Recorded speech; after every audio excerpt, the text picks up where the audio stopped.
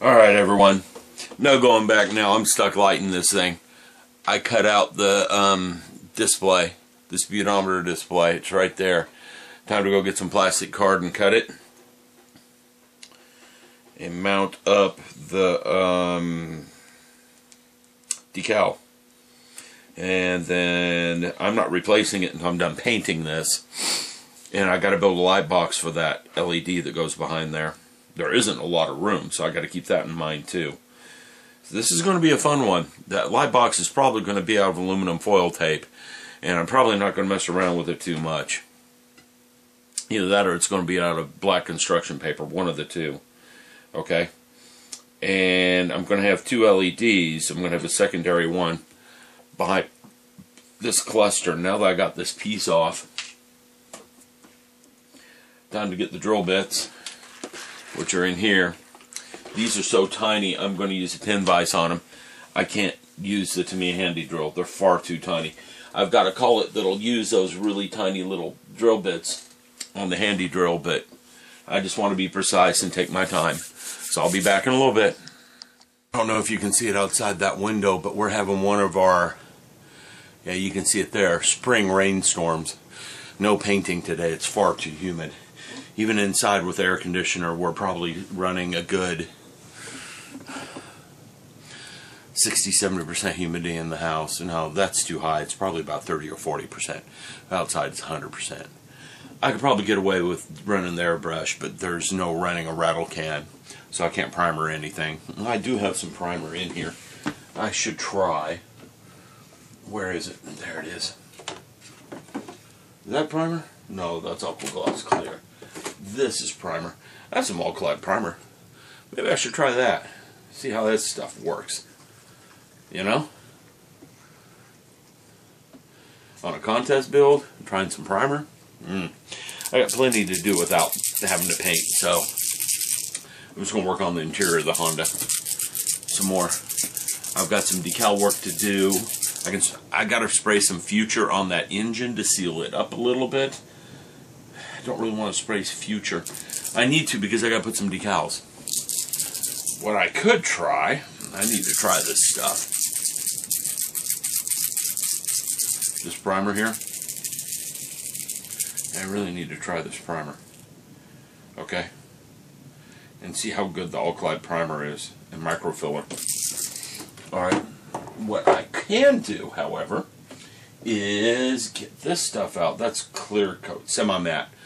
Get out the semi-matte, Alclad clear coat, spray that engine down. It has a decal that goes on it, and get that decal on there. Um, and I can do some soldering. I got two hours. So I'm going to start soldering up LEDs for this Honda. That's what I'm going to do. Get it done. So I'll be back in a little bit. Time to drill and solder. Alright, talk to you later. Hello everyone, I'm about to start working on the Honda and doing some LEDs and I took a moment to clean my work surface up because there was stuff everywhere and it was going to be kind of a mess to deal with. Got my bucket of LEDs and wire, everything's in here but the magnet wire.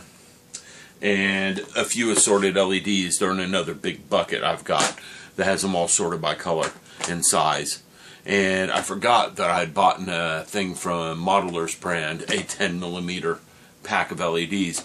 I'm not using the 10 millimeters on these. They're way too big.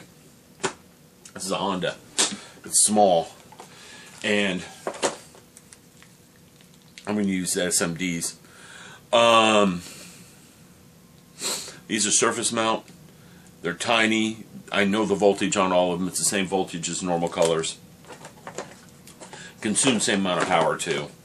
Okay, all 20 milliamp hour LEDs. I got my LEDs in hand. Up next, I got to decide on voltage. That I have an experiment running, and I need to see how the outcome of that experiment before I decide on voltage. So what I'm going to do is stop this. Next video you're going to see is the circuit I was playing with. Um, I'm going to bring it out and reevaluate it real quick. And we'll see if I can get it to do what I want. If I can get it to do what I want, I'm going to use it. If I can't, I won't. So there you go. So let me get going on this. Let me get out my the rest of my surface mount LEDs. Those are magnetic reed switches not used on this one. Okay, and I got to use these surface mount LEDs. There's just not room for anything else in there. There just isn't. So I'll get the circuit out. I got to get the breadboard out. We're going to take a look and see what we can do. Back in a bit. All right, everyone. What you are looking at is a blinker circuit. This blinker circuit is not driven by an IC chip. It's driven by two transistors. They're right here and here. Okay? The blink rate controlled by these capacitors and the capacitor resistance combination because these capacitors hook up to one end of the I, the transistor, and the other end of the capacitor goes to a resistor. So the discharge rate of the capacitor is what causes the blinking. It causes a, this is like a solid state switch, and it's switching back and forth depending on the voltage applied by uh, this capacitor. Okay, so the capacitor drives the switching. Um, I don't like this circuit. I'm going to stick to my timing chips. Timing chips are simpler in a lot of ways because I can't change the resistance too much without frying the uh, transistors. It, it, it, it's stable like it is. You can't change values too much without destroying it. I'm going to put those videos on here. They're horrible because I didn't have much time that day and I hadn't had much sleep, so I'm kind of cranky in them. But I'll go ahead and put the videos up. Just warning you, they're not the best videos I've done. But um, if I haven't deleted them, but um, I'm going to see if I can modify the circuit. I want to see if I can drive the behavior in a specific way.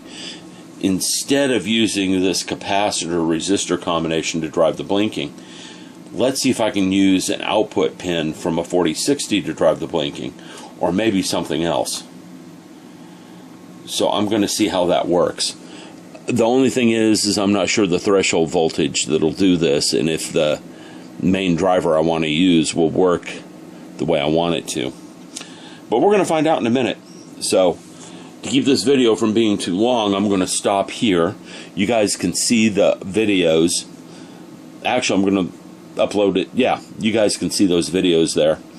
And I'm going to get prepared and I'm going to try this a different way and we'll see what happens. I'll be back in a bit. All right, everyone, we're going to talk about the base for the Honda. What I have here is a clock. All right, this clock never kept time. Pretty clock doesn't keep time very well. So I decided I was going to tear it apart. I've already torn the clock part away from the wooden ring. This wooden ring is going to make a nice base. Now, it's got a lip on the underside, so I can use this as either a template, template to cut my own base or as the real base. But now let's get the Honda out so we can see exactly how this is going to fit.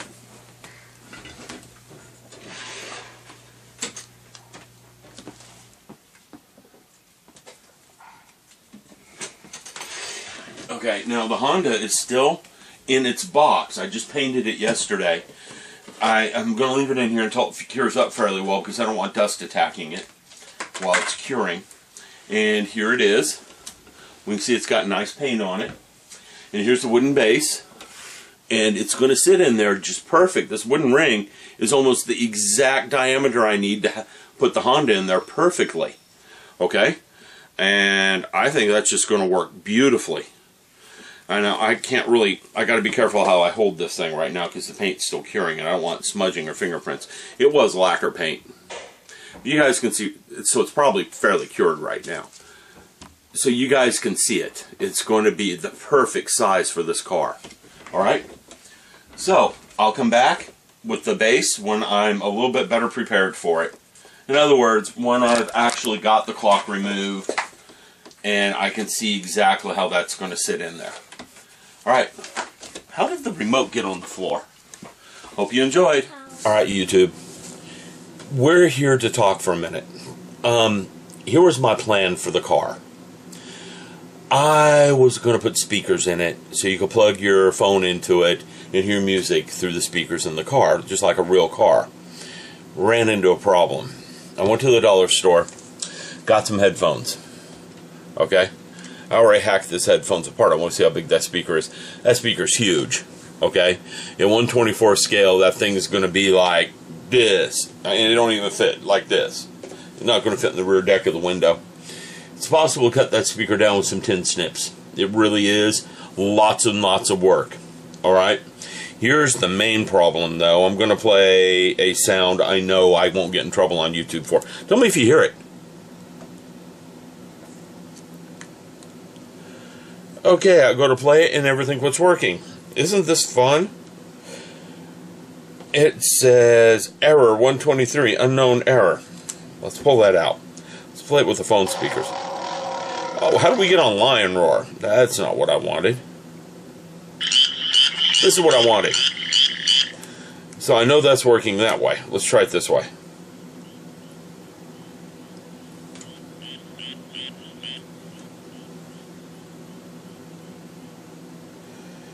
You know? Here we go, playing it again. You would barely be able to hear it. Okay? So this is out of the question. That that's not worth it to play that. Okay, you, you, that's not even worth playing on my car. I mean, put it in there and go through all the trouble of putting it in there. Let's try something with some.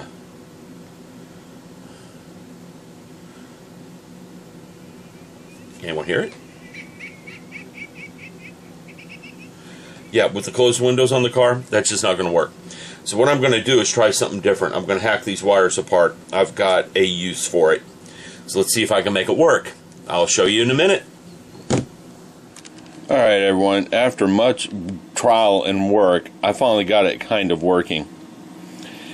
Not very bright with the green. Um, I think what I need to do is lower that resistance right there and that'll brighten it up some. We're going to find out. But the truth of the matter is, it's working. Here, one way to find out. Seven, eight, nine. Operating voltage for this thing is supposed to be nine volts.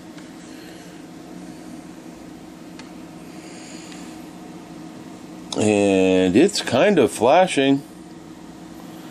Now, I can't really show you what I'm trying to get it to flash to, but you notice it's kind of randomly flashing there up in the voltage made no difference really. It's not any brighter. What I need is a slightly different input voltage. Slightly higher input voltage and we'd have a better signal here. So I'm going to try to clean that up too. Probably it's hooked up to my phone. So just in case you guys wondering what's going on I'm playing a song and I'm getting this thing to flash to the song. It's not very reliable it's kind of hokey right now because the connections are kind of not all the greatest in the world. But I did get it to work. And that's a start. And I know I didn't burn this thing out because it was designed for 9 volts. Yeah, I don't think I burned it out. We're going to find out in a second because I had it running at 6. And I cranked her up to 9 to check something. So I better check. I might have burned something up. I've got plenty of replacement parts, so that's not an issue. Alright, I'll be back. I'll let you know what's going on in a minute.